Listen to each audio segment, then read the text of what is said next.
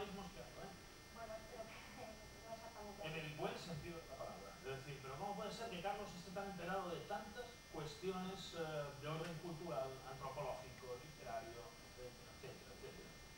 Hoy podemos hablar, Carlos, si te parece, de algo que dijiste que te fascinaba. Tú dijiste, no entiendo la vida sin Egipto. Egipto me ayuda a vivir.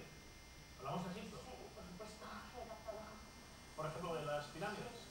Bueno, las pirámides, eh, bastantes más representación de Egipto. que- Oye, hay una serie de cosas que nos has dicho preparando esta conversación Sí. pues que me resultan Interesante. interesantes, creo que pueden resultar llamativas. Las pirámides no fueron construidas por esclavos.